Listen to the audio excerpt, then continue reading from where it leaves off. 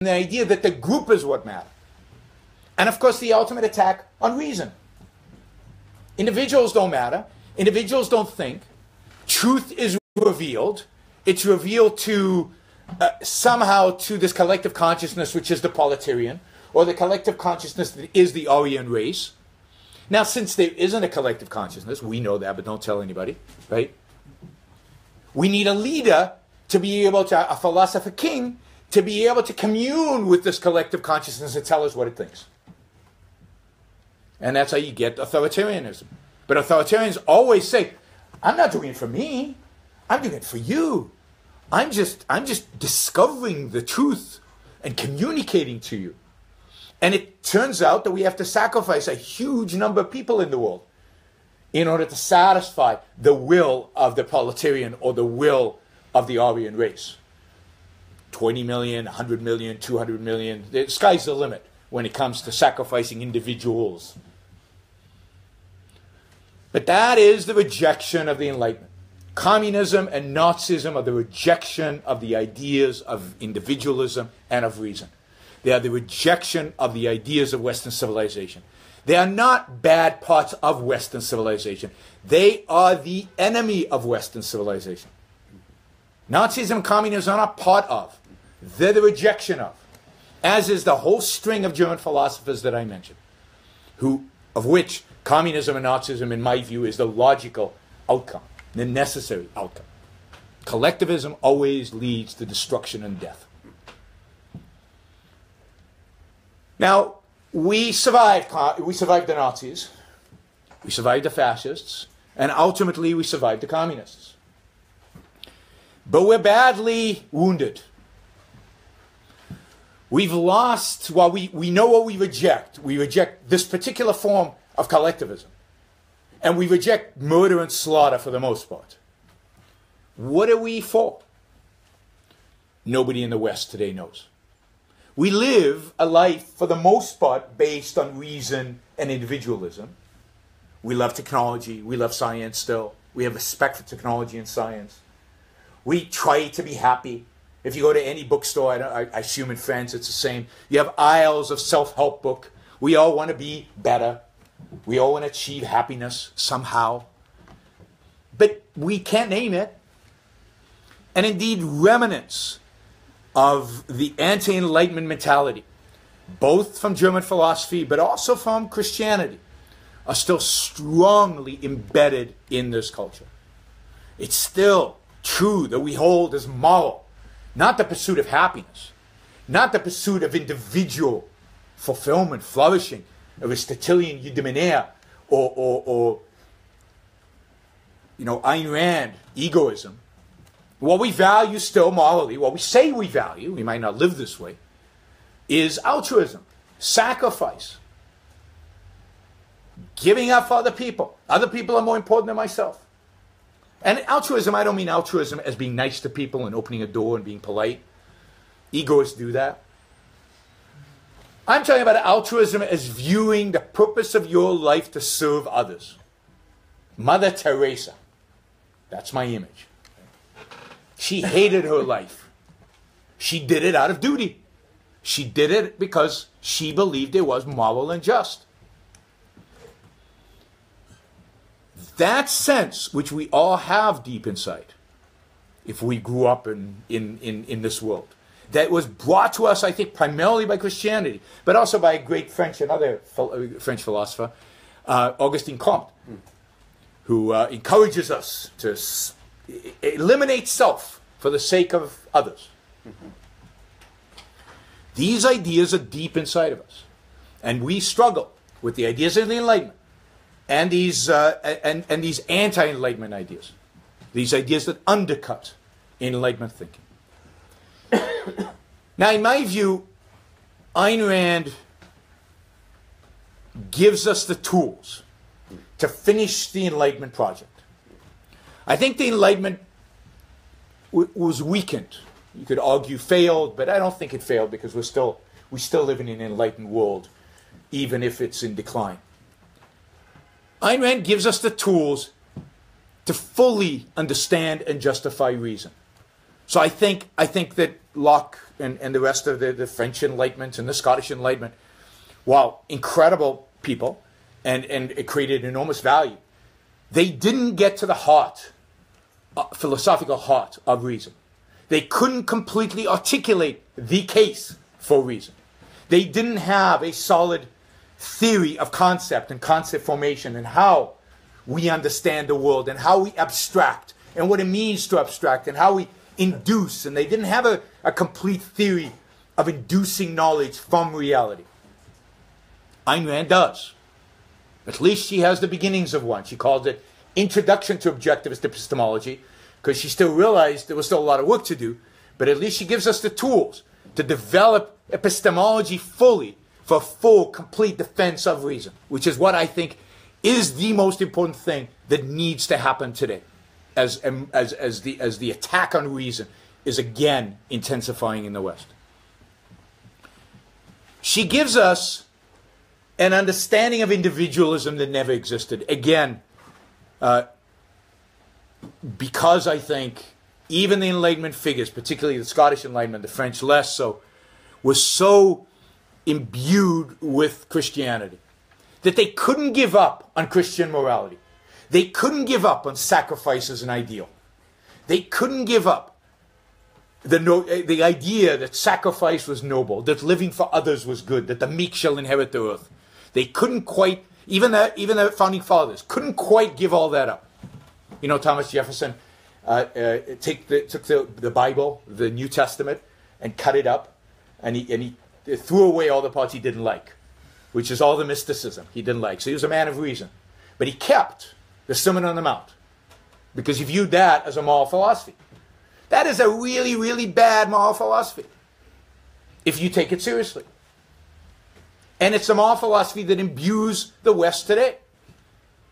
And it's a moral philosophy that needs to be rejected. And there is no moral thinker that presents an alternative to the Sermon on the Mount other than Ayn Rand. I mean, Aristotle and then Ayn Rand. Spinoza maybe a little bit in between. But there is no alternative in the world today, other than Rand's, to the idea of sacrifice. Ayn Rand presents a moral theory, not just a little bit here and there, but a moral theory for living life. A moral theory for living life for oneself, because who else should you live it for? It doesn't mean you treat other people like garbage. Other people are huge value to you. But it means that your standard by which you make decisions is your own life, is your own flourishing, is your own value. It means that each one of us as individuals needs to strive to be the best that we can be as individuals, as human beings, as complete human beings, as reasoning animals, as rational animals.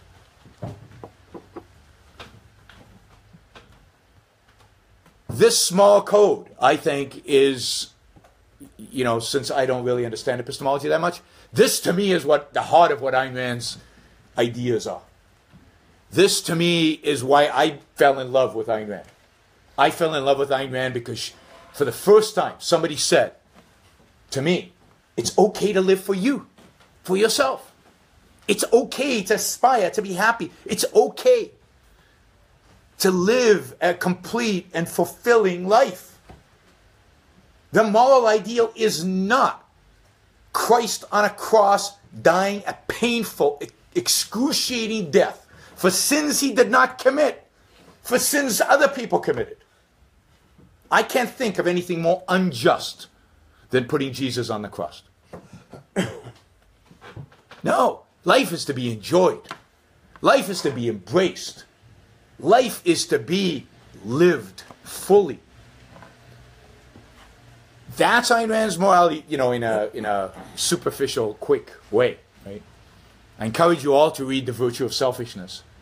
Uh, her book is it in French, mm-hmm. which is in French, um, because I think that's a, a, revelation. Now, all of the morality is in Atlas Shrugged, because for Ayn Rand, the moral ideal is not Christ on a cross; it's John Galt. It's the man who felt no guilt no unearned guilt, no original sin. The man who lives, lives for himself. asks no other man to live for him, but will not live for anybody else, but for himself, for the fulfillment of his own values at nobody's expense, but as a trader in win win relationships with other human beings, with other people. So these to me are the foundational ideas. These two ideas of reason and individualism are the foundational ideas of Ayn Rand's philosophy. I believe she completes the Enlightenment project, or at least adds significantly to it for us, maybe to fully complete, to the extent that there's still philosophical work to fill in the defense of reason and defense of individualism. But Ayn Rand takes us a long way. Ayn Rand is primarily a philosopher primarily has something to say about reason and individualism or egoism, capitalism as a political and economic system, I think are outcomes of that. If you are an individualist, that is, you care about your own life, and you're capable of knowing the world through your reason, you don't need mother government sitting on your shoulder telling you how much to pay your employees or how much to take as an employee, what soda you're allowed to drink and what food you're not allowed to drink, what drugs you're allowed to consume and what drugs you're not. And I'm talking about the, the, the healthy ones, but you know, anyway, you, you, you, know, it's none of anybody's business. And if you, a, a real individualist, if you're an egoist, you don't want anybody telling you what to do. You want to discover truth by yourself. You want to go out there and try and experiment and learn and fail and succeed and learn from your failures and move in life.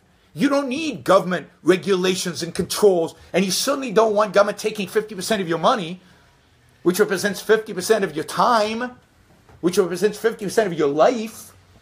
It's yours because you're an egoist and you care about what your stuff is.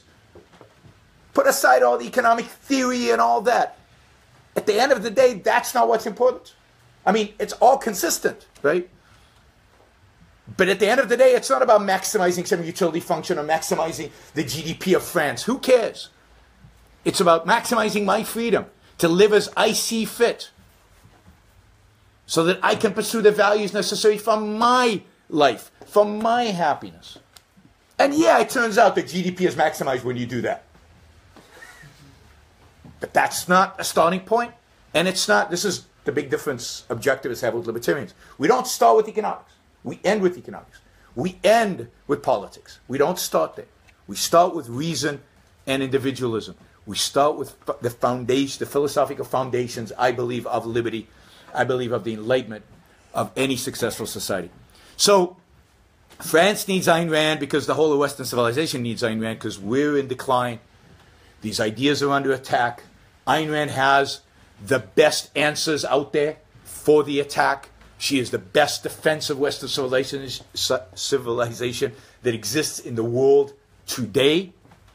The rise of collectivism, the rise of tribalism, the rise of emotionalism can only be dealt with through philosophy, through a philosophical attack on them. And Ayn Rand gives us the best tools to do that. But more than that, and I'll just end with this note the most important thing, in my view, about Ayn Rand's philosophy is not what it done for France. It's not what it does for Western civilization. It's not what it does for any country or place or anything like that. It's what it can do for you as an individual and what it can do for them as individuals out there. At the end of the day, a life of unreason, a life filled with unearned guilt, a life filled with collectivistic ideas that you don't actually live, or some people do live, but but that that constantly tugging at you, is an unhappy, miserable, pathetic life. It's a life filled with angst, with anxiety. Ayn Rand is the ultimate self-help. Ayn Rand is the ultimate philosophy for living a life free of unearned guilt, a life that is makes possible makes it possible to flourish and to be truly happy, to truly achieve happiness in life. So at the end of the day, it's the individuals who need Ayn Rand more than it is any civilization or any country or anything like that, because Ayn Rand is primarily a philosopher of and for the individual. Thank you.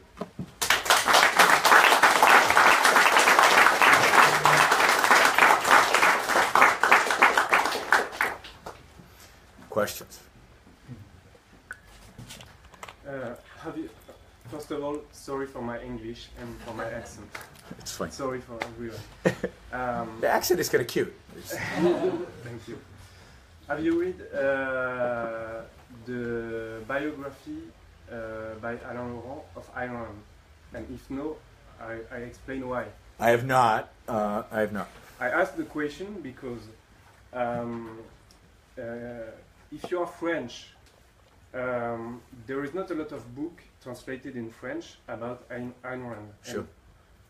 You have some of her novels, and maybe the only one book about Ayn, Ayn Rand is uh, Alain Laurent's book.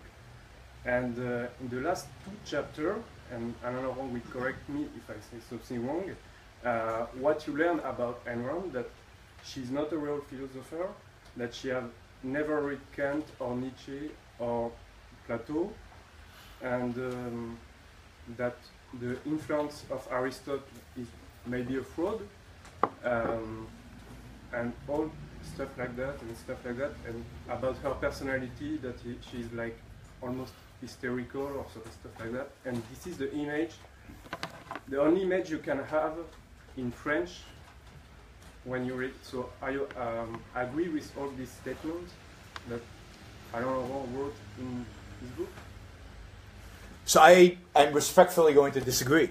Um, uh, uh, certainly, she read Kant. Certainly, she read all of those philosophers. I don't think there's any evidence she didn't read them, and there is evidence she did. Evidence of people who knew her personally, and who, you know, who knew philosophy because they studied it. They got PhDs in philosophy, and who had conversations with her directly. Uh, so I disagree with that. I disagree with the idea of, of uh, you know, I don't understand, I guess, the idea of, of, uh, of uh, uh, Aristotle's influence as a fraud. Um, she had a temperament. She, she was a passionate person. Uh, I think most geniuses are. Um, I, I don't think she was. Uh, I, I, don't make a big deal out of that. I don't think it's it's that significant. She had a temper. Yeah, when she saw an injustice, she saw something wrong. She had a temper. She certainly didn't like certain people, and she let you know when she didn't like. But I don't know. I mean, I have not seen anybody say Ayn Rand's wrong about Kant. Here's the reference. What she said about Kant, and again verified by philosophers who studied with her and studied philosophy as well um, I, I think is, is legitimate. I, you know, I also don't buy this notion, and I, and I know a lot of the biographies, even in English, present this, of her being miserable and, and uh, depressed and, and so on. I, I, again, based on people who knew her, I, I just don't think that's true. Again, was she angry? Sure. Was she depressed when Atlas Shrugged didn't succeed the way she thought it would succeed. People didn't respond to it the way she thought. Yeah, but she got back on her feet and started writing nonfiction, right? And she spent all the '60s and '70s writing and working, and to the and, and to the day she died, she was working. Uh, you know, on the week that she died, she was still writing. She was writing a, a, uh, a television adaptation of uh, of Atlas Shrugged. Um, from what I know, she was a happy person. She was a difficult person. Uh, she was a principled person. She was a passionate person, but she was not a miserable or depressed or, or, or, or, nasty person as so many of other people's biographies. Again, I haven't read Alain, so I can't comment, but other people's biographies have presented her as. And I'm hoping there'll be a definitive biography coming out, uh, which which will document what courses she took in college, what books she read. I mean, part of the thing is you can go to her library. We have the library in the Ayn Rand archives and you can see the books she read, and you can see her annotations on the books. Yes, but most French No, I know. speak I know. only French, and they have the only book. I suggest. And even in English, the- the these views are- the two last chapters because it's very Yeah. uh, interesting the image that we can have in France, and also the fact that uh, Alain Laurent just said that uh, we have the virtue of selfishness in French. Uh, it's important to precise that it's just some chapter, just seven chapter on the uh, 19 chapter. It, does it have the main essay, the objectivist ethics? Yes. Good. Well, that's the most important one. Did you want to comment? Bien. Ah, j'ai jamais employé le mot hystérique. Je n'ai pas dit que vous l'aviez employé. Ah bon, oui, mais c'est ce qu'on aurait pu comprendre. Euh, deuxièmement, vous sélectionnez des passages où, en effet, je rapporte ce qui seront des, même parfois dans des milieux indiens, en oubliant le, le, reste. Mais là, je reviens à ce que j'ai tout à l'heure. Euh, ça ne sert, je crois, rigoureusement à rien de transformer Elrond en une sorte de sainte. Euh, qui, elle est humaine, très humaine. Euh, et sur le plan purement philosophique, je maintiens ce que j'ai dit. dans une démarche philosophique, on cite ses sources. On cite les passages dont on parle. Et on les réfute.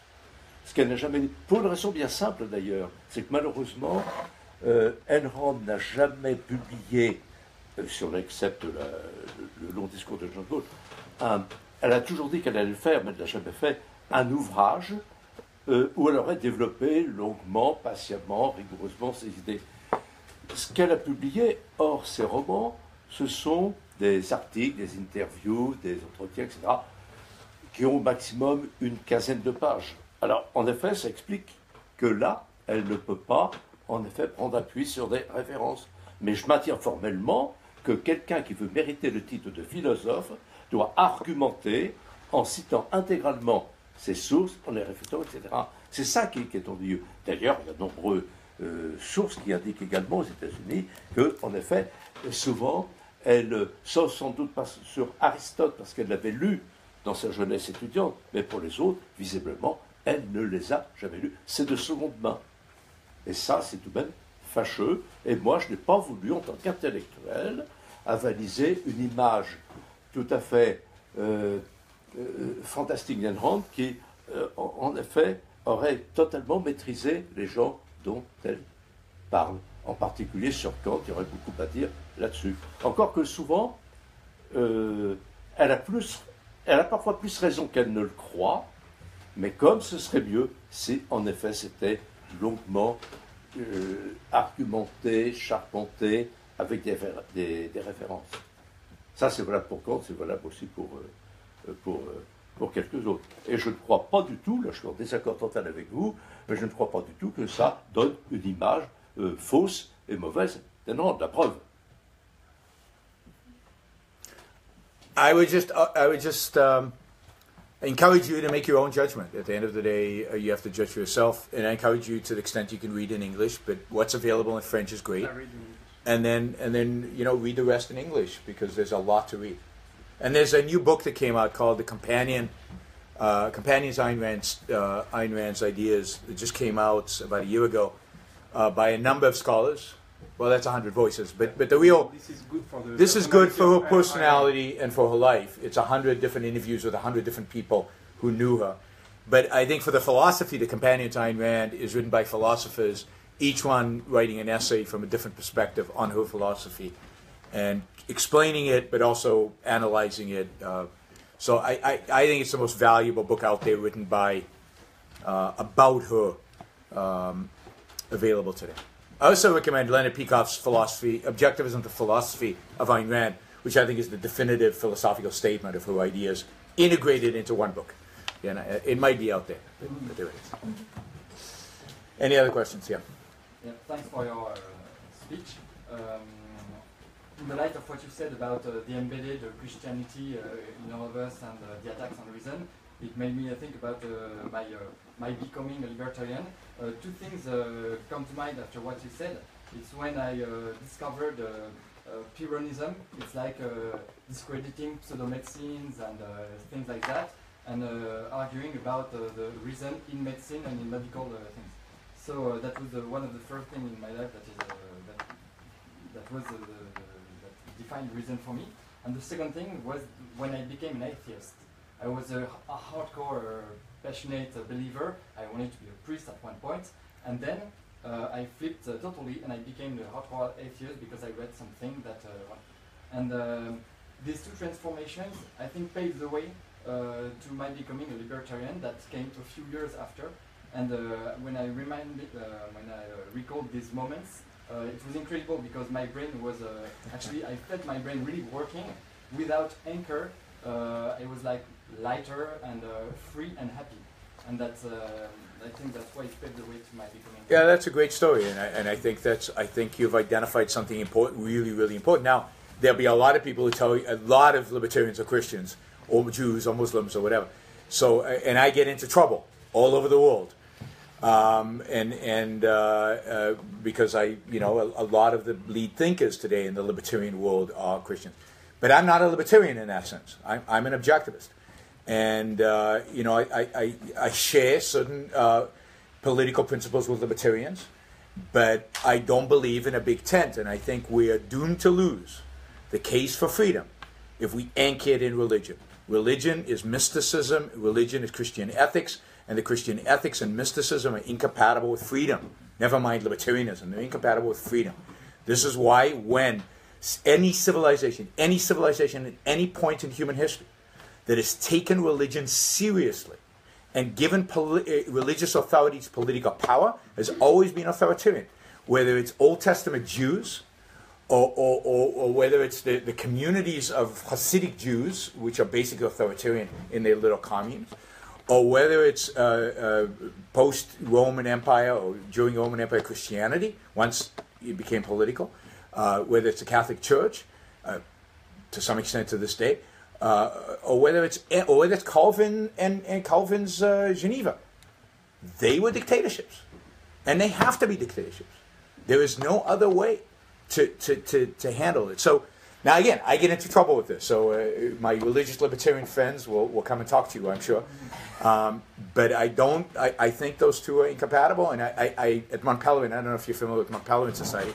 At the last big meeting of the Mont Pelerin Society, Classical Liberal Society, uh, they had a debate between me and and a, a, Catholic. The moderator was a Catholic priest, so uh, it was two against one about whether religion is compatible with freedom or not. And I, I strongly took the stand that it's not.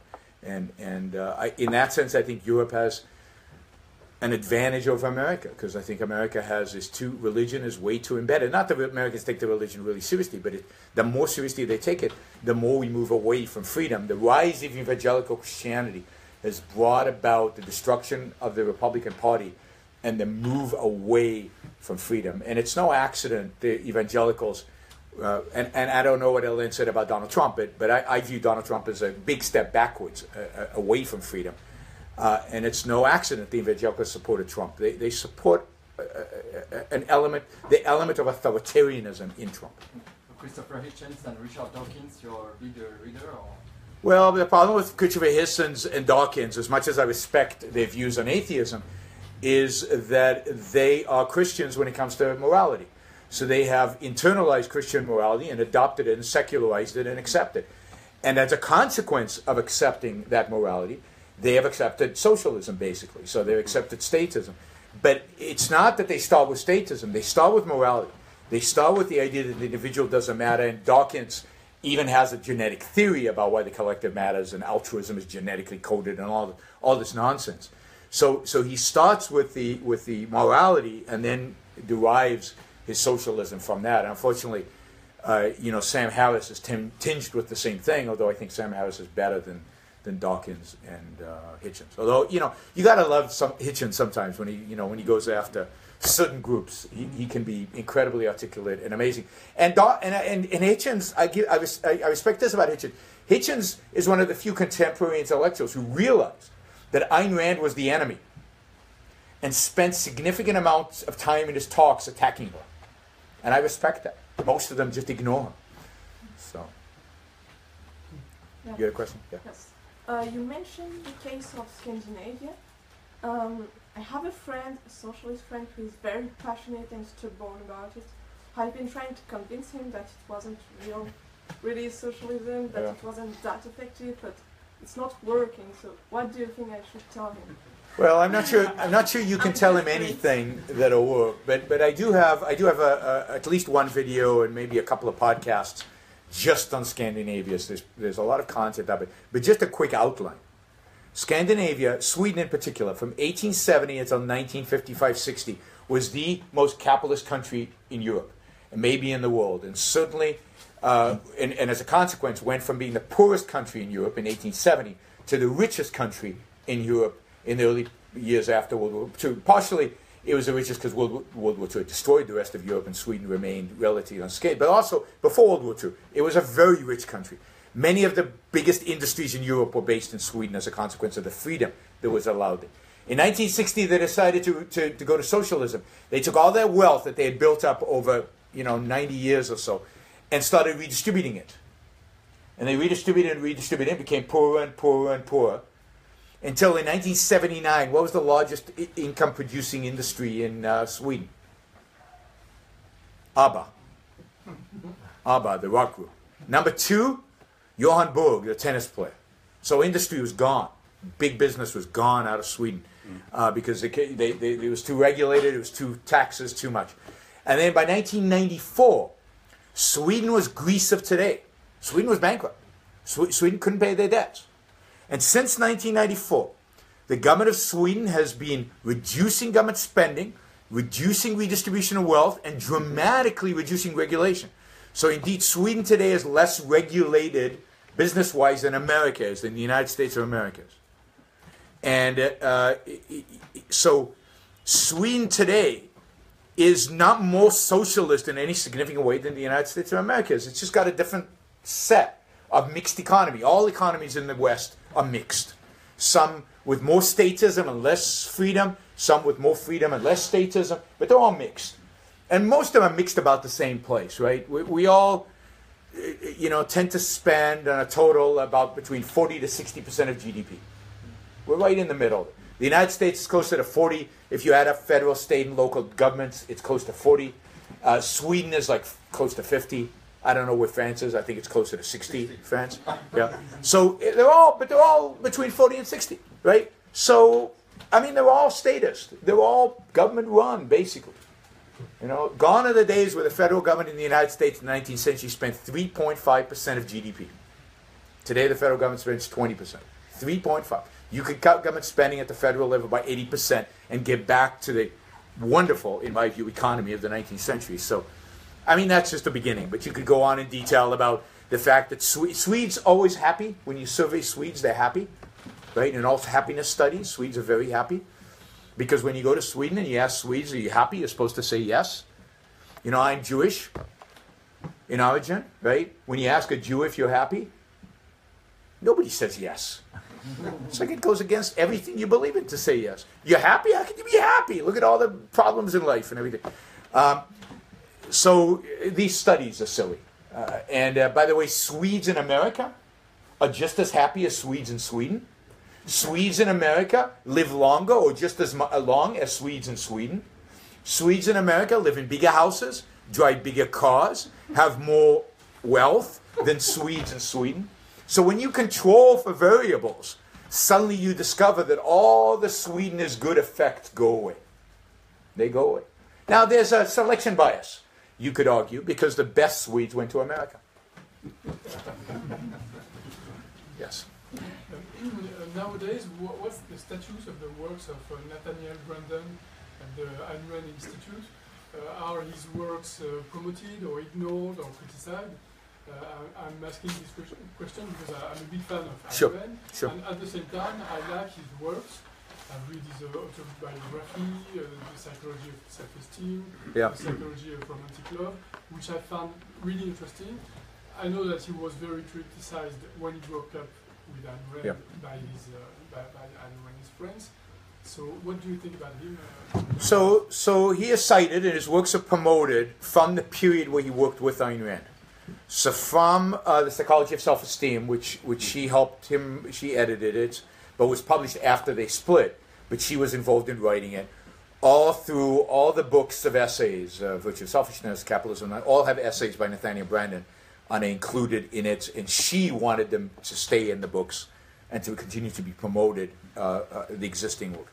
We do not promote the work that he did after, uh, for a couple of reasons. One is, I mean, I don't want to get into a big debate about this, but I consider him a bad guy. He might have been a good psychologist, he might, but I consider him a bad human being. I think he did significant damage to the objectivist movement.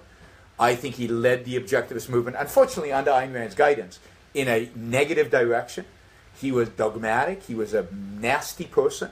He treated people. I mean, he writes about psychology, but it's weird how people who write about psychology tend to be angry, nasty people. But he was a nasty person. He treated people on a one on one basis in a horrible way. Um, uh, so, you know, so we don't promote him after that because we, we don't want to promote a guy who, who we consider a bad person. Um, I do think his works written right after the split with Ayn Rand, particularly the uh, Psychology of Romantic Love, I, I think are good. So there's there's good work. I think the more further away from Ayn Rand he got, the worse he got. And he started dabbling in mysticism and in men's rights and drum, all kinds of weird things. Later on in life, he, he did seances, he all kinds of strange stuff. Um, so that is later in life, uh, I think in the late 70s and, and going into the 80s. Uh, so I'd say the early work is best work and, and, uh, and is good. Uh, and, and I'm sure that in the future, objectivist psychologists, psychologists who, who study Ayn Rand, will also study his work and, and refer to it. I'm not a psychologist. I'm a I'm not a philo- I'm an econ right. I'm a finance guy. Is there any other famous uh, Randian psychologist? Uh. Unfortunately, no. Although I think that she and Nathaniel Branden had a significant influence on psychology. The whole rise today of the of the cognitive psychology movement, and even elements within the positive thinking movement. Although I think some of that's primacy of consciousness. But the whole idea of, of cognitive psychology, the idea that emotions are derived from ideas and what we think and the conclusions we come to, all of that comes from the work of Ayn Rand and comes from the work of Nathaniel Branden. So I think she's had a profound impact on the field of psychology, even though I can't say that this particular psychologist read Ayn Rand and, and what the links are. But you can see that the whole discussion of self-esteem really starts. I mean, in, with with Ayn Rand, and Ayn Rand makes it a, a cardinal value, right? It's one of the three cardinal values, self-esteem. And, and self-esteem was not a psychological term until really the 1960s, until Nathaniel Branden, Ayn Rand, and then Nathaniel Branden bring it in. And then it becomes, and then gets distorted, and today it's, it, it's, it's nonsense. But at least the discussion of the concept was, was Ayn Rand. I, I, I mean, I'll say this just generally. I believe Ayn Rand's had a profound impact on the culture already. I think concept like self-esteem, concept like capitalism. Capitalism in the 50s and 60s was a dirty word. And the only two people who spoke up for capitalism in a popular way, in a way that affected the culture, are Ayn Rand and Milton Friedman. And by the 1980, capitalism is okay word. By the time Reagan and Thatcher are elected, they can talk about capitalism. That's because of the work Ayn Rand. So I think in many ways, subtle ways, not embracing the entire philosophy, Ayn Rand has already had a substantial impact. There's good evidence to suggest that the draft was eliminated in the United States because of people who associate with Ayn Rand and who brought her ideas in front of Nixon and got rid of the draft, an important pro-liberty moment. So there's a lot of things I think that have happened. We, we tend to be too pessimistic about the influence. Yeah, in the back. Uh, thank you for your talk. Um, what was the core of your talk, I think, was this idea of uh, Renaissance and Enlightenment not being achieved. And- Fully, fully manifest, yeah. Yeah, and, and being under attack. Yeah. Um, I agree with this idea, and I'm questioning the why. And you say that what is under attack is individualism and rationalism. And my personal feeling is that at some point in the process of enlightenment, there was an idea which was really in the core of the writings at that, at that time was res publica. Res publica. No? No. Translate? Somebody? Okay. Uh, in Latin, res is the thing, publica is the common thing. Yeah. Okay? Okay. So this is the, the, the, the origin of republic, Yes. res publica. Yeah. Many, one. Okay? Yes. It is the idea of general interest as a goal. Yes. And the only non-negotiable thing being the world being governed for the general interest. Yes. And at some point, at least in France, we stopped making any distinction between res publica and demos kratos, Yes. democracy. Yeah. Okay? Mhm. Which is absolutely not the same. Res publica was a goal to achieve, a focus point. It requires an analysis, it requires rationalism. Maybe it requires, as a step, uh, to think individualism as well. But once you start confusing res publica and demos kratos, demos kratos, what is it? What is democracy? Democracy. The rule of the mob. It's not, but it's not an objective, it's a methodology. So as soon as you start confusing the, the objective, the site, the focus point, and a methodology, an idea of methodology, you're losing your way. And then you cannot achieve enlightenment. That's what my not question, it's something I share with you to have your opinion on that. And we do, we do not have a system, we have a religion. Because democracy is a religion with, with its own kind of Bible, which is the human rights. So as soon as you are in a religion with a Bible, you're not in uh, analysis, individualism, uh, uh, science, you're in believing. Yes. That's why I want to suggest. I think we did not achieve So I agree with you. I agree with you, but I would suggest that the points I made are more fundamental. That what you're identifying, which is true, is the consequence of abandoning reason and abandoning individualism. That the consequence of abandoning those things, we abandon the idea of a republic and the, the meaning of laws and the meaning of the rule of law. And we embraced because we we lost what that means because we lost I think we lost the concept of individual rights as Locke understood it. We, we, we lost that. And maybe France never had it, right? I mean, there's a possibility France never had it completely. And, and Britain ultimately, you know, Bentham says individual rights are nonsense on stilts, right? Super nonsense. So already in the 19th century, they're chipping away at the idea of individual rights. Um, I think once you lose that, then what's left, right? What's left is whatever the majority wants. And what does the majority want? Whatever they feel. And that's emotion, and that's the loss of individuals. And, and the whole idea of an inalienable individual rights is the idea that the majority can't take it away from you. And that's what the American Republic is built on, is the idea of the individual sovereignty. And that the government is not there to, uh, you see, and, and, and this is partially uh, the understanding of republic, common good. I think, I think there is no such thing as the common good. All there is is the good of the individual. What, what is in the common good, in the proper sense, is to protect the individual.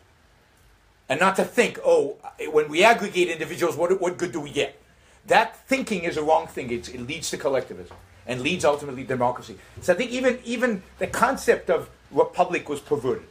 Yeah, that's why as soon as we stop thinking in terms of res publica and republic, and But you then- see, I think we stopped thinking in terms of individuals and in terms of reason, Yes. and then as a consequence, we stopped thinking in terms of republic. yes, if you if you lose the word, you lose the idea. Instead of that word, instead of the idea, you replace it by, by an idea which is collectivism. Yes. Because democracy is nothing else. Yep. Then you lose the, the way, and you cannot achieve this uh, enlightenment process. I agree with you, and I agree with your, your characterization of democracy as a religion. I think it, it, act, It it, it certainly is today. I mean, you can say, you, you can, I mean, you can criticize almost anything today, but if you criticize democracy, people flip out. They think you're the devil, and, and it's, it's the worst thing in the world, and they don't realize there's an alternative. They think democracy, th- authoritarianism. Th- th- those are the options. And they don't realize there's a third alternative. And then do not realize that there are countries in the world or organizations where you are pursuing general interests that are not democracies, Yes. like Singapore or like a family. Yeah, a family is not Or a corporation, A or many other corporation things. is not a democracy. For, for Ayn Rand, what is uh, moral or, or not? I mean, uh, Yeah. have we a test, an Ayn Rand test, to decide what is moral or, or not? The moral is that which supports human life, which that is good for human life. The immoral is that which threatens human life. It's that which is bad for human life. And then she says, now it's a scientific question. Let's look at the world and see what things support human life and what things threaten human life. And, and if you read uh, the Objectivist Ethics and the Virtue of Selfishness, and, and it's in, that essay is in French in, in the book, it's in, she then articulates, well, what she thinks is the most important thing that supports human life. And for her, the most important thing that supports human life is to use your mind, is to think that all human values are the creation of human thought, of human reason, everything. And therefore, to her, the number one value, the thing to act, to gain, or keep, the thing you want, is reason. And the number one virtue, the action to take, is to be rational.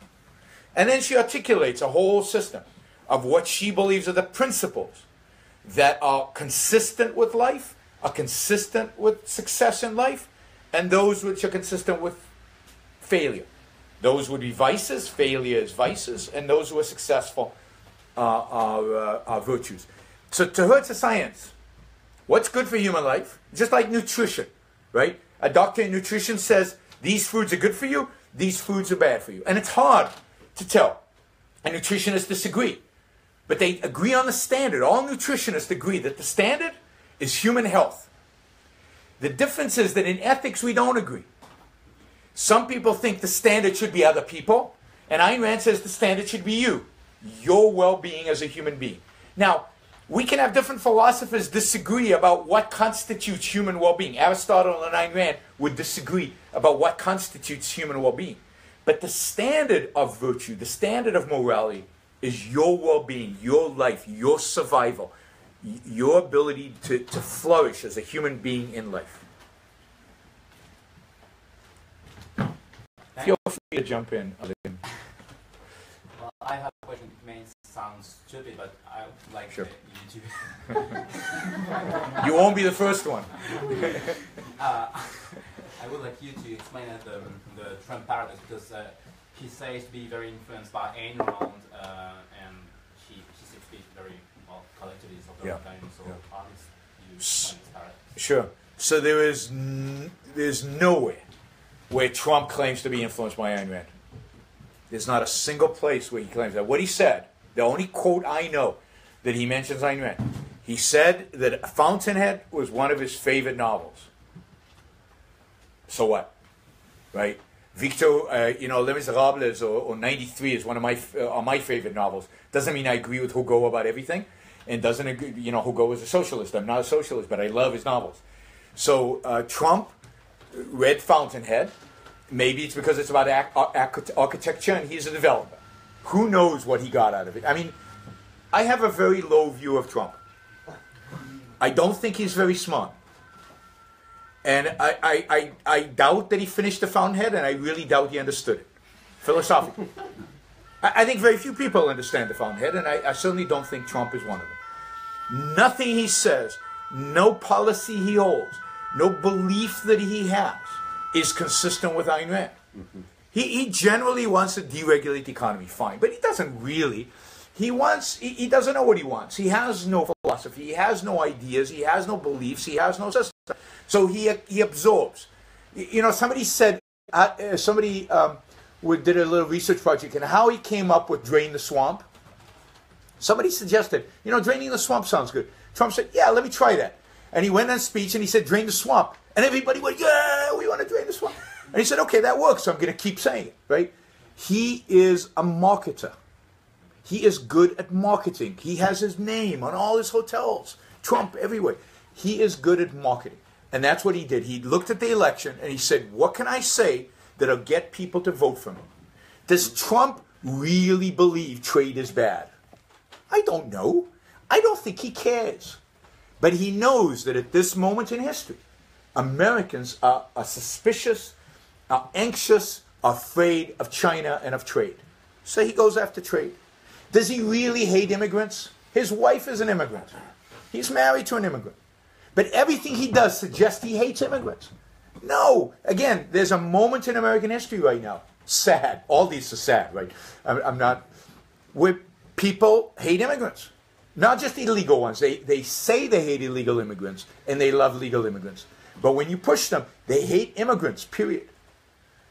So he capitalized on that and he used that as a marketing campaign. He saw that before everybody else that there's a real frustration and anger in America and that these are ways to. And, and look, he acted.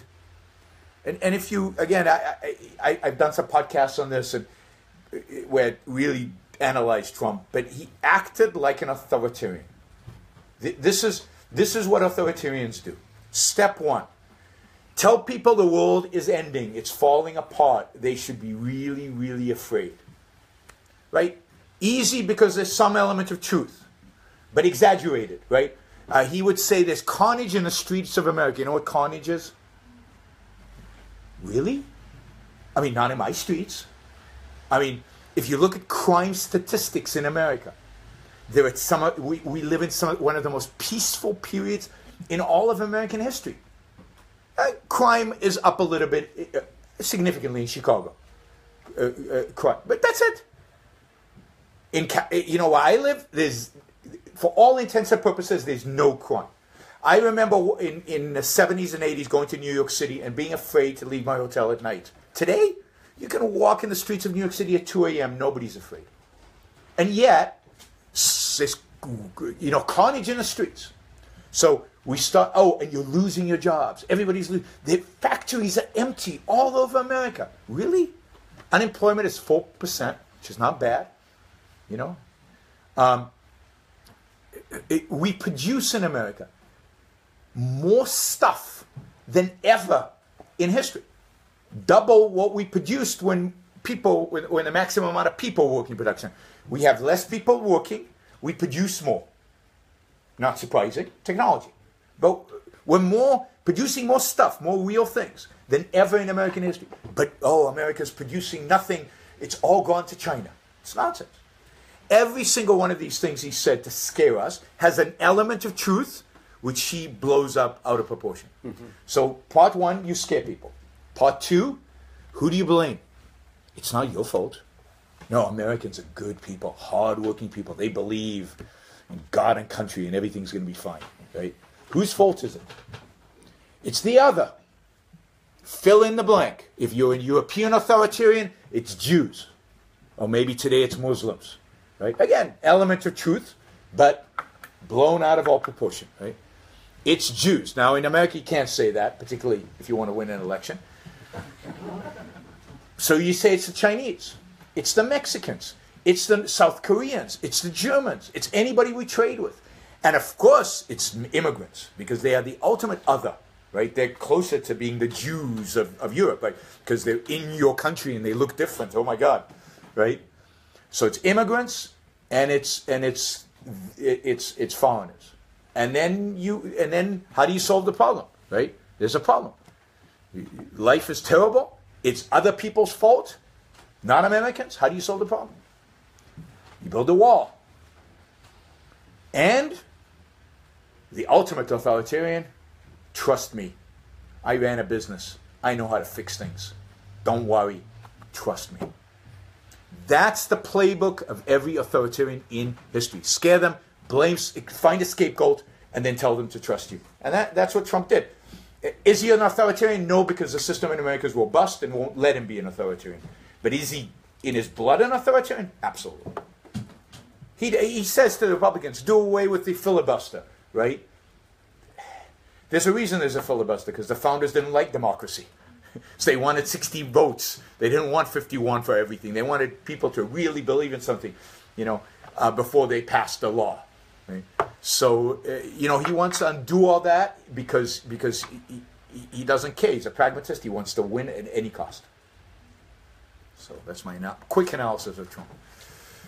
Yes, uh, in your opinions, what, uh, to what extent does the youth of Ayn Rand have a role in her, in her philosophy, uh, in her economic um, thoughts? So the fact that she was lived in pre-revolutionary Russia, that she lived through the revolution, she came from an upper class family. Well, middle class, yeah. She, did, she wasn't upper class. She was middle class. She's Jewish, uh, farm, owned a pharmacy. That's not upper class. Um, I, you know, so uh, th- this is a question that's, that's broader than Ayn Rand. What makes us who we are? Um, the environment in which we are raised, option one. Our genes, option two. And then psychologists say it's a mixture of both. And of course, they ignore option three, which I think is the most important, which is the choices we make, the the idea, the the the the, the, the free will that we all have over our own lives, the, the, the decision and choices we make. And people ignore that completely. It's as if we're automatons dictated by environment and genes, which is ridiculous in my view. And all you have to do to discover how ridiculous it is is look inside yourself, introspect a little bit, and you can discover your own will. I think Ayn Rand is mostly the third part, and I think all of us are mostly the third part. I think we are mostly creations of ourselves. I think she was, I mean, 150 million Russians, probably more than that, lived under communism. There's only one Ayn Rand. So 150 million were exposed to those ideas. Only one Ayn Rand. Millions and millions and millions lived before Russia with the great 19th century, and none of them are Ayn Rand. So she took that. That was all material for her, no question. And she wouldn't have said and been exactly the same person if not for those, right? Her genes, who made her a genius, her environment that gave her the, the information, the evidence, but it's her choices, her particular mind that did what it did with it that came out. She would have come up with this philosophy, I think, even if she wasn't in the Soviet Union, but it would have been different. It would have been the focus and the orientation probably would have been somewhat different. But she's not a product of, nobody is a product of the environment unless you shut yourself down. If you, close, if you don't think for yourself, then you become a product of other people. She was obviously not that. She, she was an original thinker. Um, so I, I, think she, that's part of it. You know, being born at the beginning, beginning of the 20th century or the late 19th century gave you a certain spirit that I don't think being born today you could have. A certain optimism, a certain joie de vivre, I say right? You know, love of life, a certain you know, life is good. Pre World War One, there was this attitude in Europe that just, you know, think about the music. Nobody could write Tchaikovsky or, or Chopin or, or Rachmaninoff today. It's just not in the it's not in the psyche. We're cynics. We have punk rock. That's what we love, right? Not me, but you know, I'm still a romantic. But romantic music is impossible today, right? I was at the uh, uh Museum today, and nobody can sculpt like that. Not because they don't have the technical skills but nobody believes in that. Nobody believes in human beings being heroic and beautiful and magnificent like they did in the 19th century. We just don't. We think ugh, human beings, scum. So we, we, we, we, we, we make them into abstractions so we can't, God forbid, identify that there's a human being there. Um, no, this was a beautiful, amazing. I mean, particularly for you French. I mean, God, to be in Paris in the 19th century was culturally I can't think of another era, maybe other than Greece, of, of cultural vibrancy and, and optimism. And I mean, you, you had Hugo and Liszt and Chopin and, you know, sitting at the coffee shop together. I mean, that's just blows your mind, blows my mind anyway. So, um, that's, I, I mean, to me, so, so being born during that period matters to your sense of life.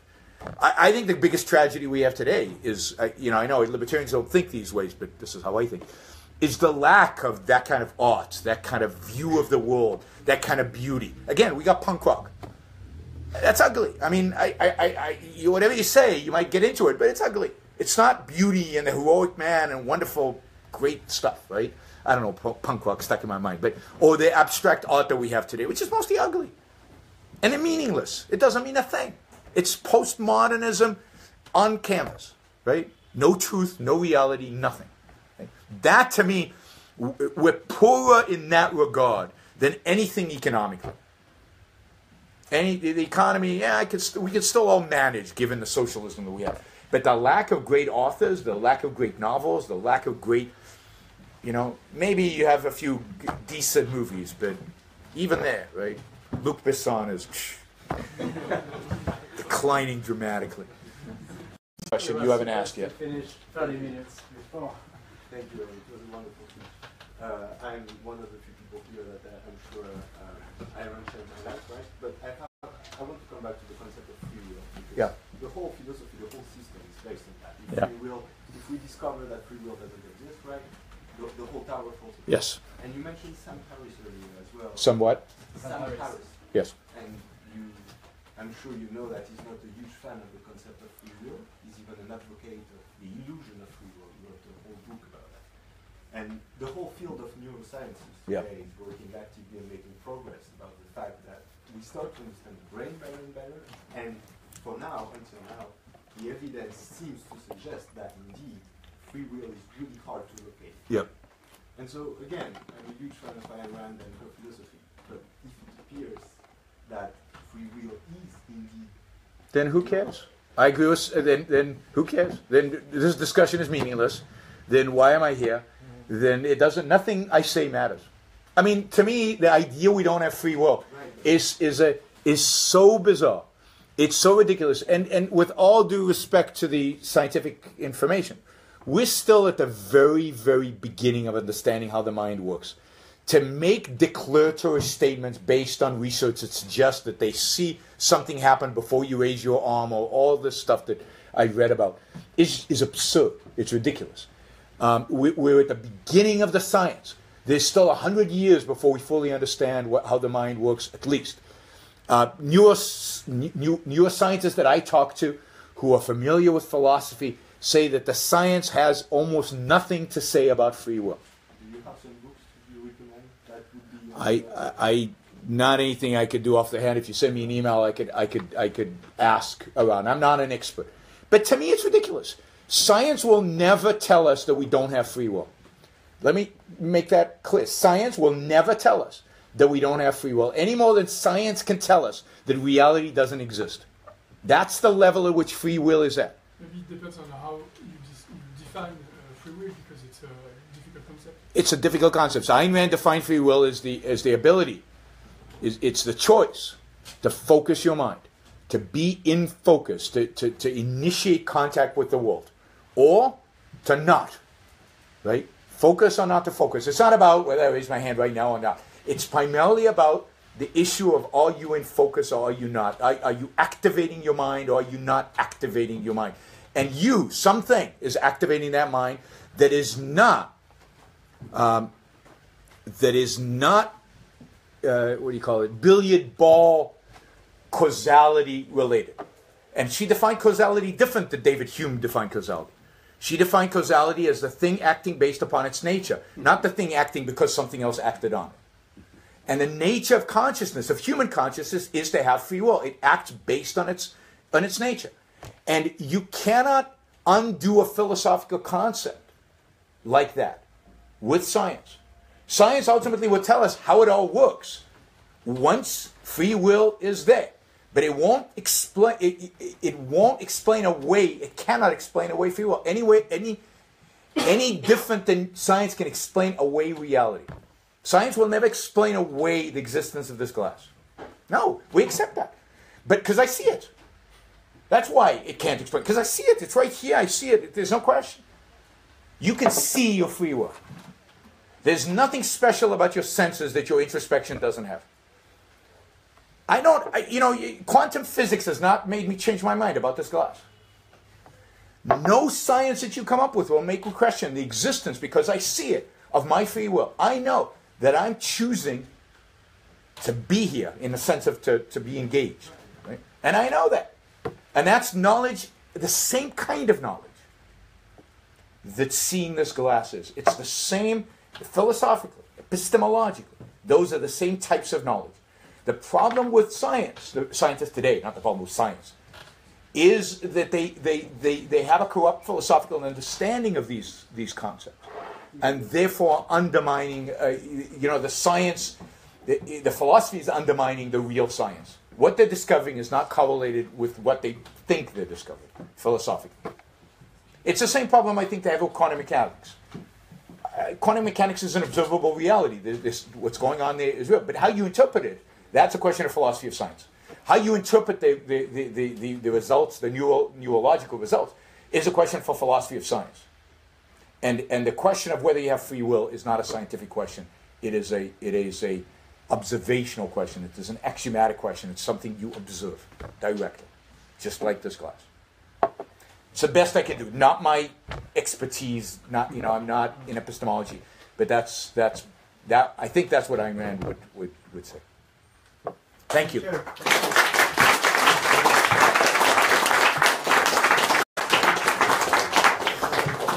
Thank you, Yaron Brook, and thank you, Alain for your impressive Tell them about speeches. Saturday's uh, so, event. yes, uh, several things. Uh, first of all, I know that the Ayn Institute uh, thanks a lot uh, the ALEPS. Absolutely. Olivier Meres working for the ALEPS. Thank So, you. Thank you again. Alors, And thank Christophe for helping organize this. Thank you. Malheureusement, on a assez peu de bouquins, donc en fait, je vous demande de ne pas vous servir, de les commander directement. Alors, vous avez pour les, les- notamment les ouvrages de Yaron Brook qui sont recensés sur une petite fiche qui est là-bas. En revanche, pour les étudiants, notamment les programmes du Heimann Institute, c'est des prospectus à récupérer. Euh, en revanche, je vous engage à prendre ces petits livrets. Pour le coup, on en a suffisamment et on en aura encore suffisamment pour samedi. Et pour le mouvement Students for Liberty, on a ce- ces deux bouquins qui sont traduits en français. Et c'est un peu la fin qu'on a. Donc si vous ne les avez pas encore, n'hésitez pas à, les prendre. Euh, pour pas être long, j'enverrai un mail à tous ceux qui sont venus ici, puisque j'ai- leur adresse demain, pour parler de l'événement qui a lieu samedi près de Bastille, de 10h à 17h. Yaron Brook parlera à nouveau à 14h. Euh, Mathilde, qui est ici, parlera aussi du féminisme et du libéralisme. Et puis on aura Nathalie Janson sur les banques centrales. Et le matin, on aura euh, trois interventions euh, sur euh, tout ce qui touche autour des politiques euh, euh, de lutte, euh, enfin, politique contre les drogues, euh, tout ce qui touche à code du travail, et puis on a troisième... Et protectionnisme. Voilà. Euh, merci encore à tous, et puis euh, à très bientôt. Et vive la liberté. J'ai cru comprendre qu'il y, a- il y avait un- association, cercle, quelque chose, Enrand, et ici à, à Paris? Non, non, non, pas pas du tout. Non. Rien de similaire. Non. Ou pas forcément un Enrand. Non. Enfin, nous on a Students for Liberty, on a plein de... Qu'est-ce que, vous faites? Qu'est-ce que, vous me renseigniez sur. euh, Oui, je vais faire ça. Vous voulez les garder Vous les ou pas Oh, vous voulez les Ah oui, j'ai pour vous. J'ai deux ouvrages euh, Are we uh, going to dinner now? Oui. euh, sorry. Do we have a dinner arranged? Yes, we have. Okay, we are late. Uh, ju- we are late, but I know Annie has just told them we were Oh, late because okay. uh, that's fine. Uh, I think I just perhaps you can go. Do you is the address? Yeah, well-.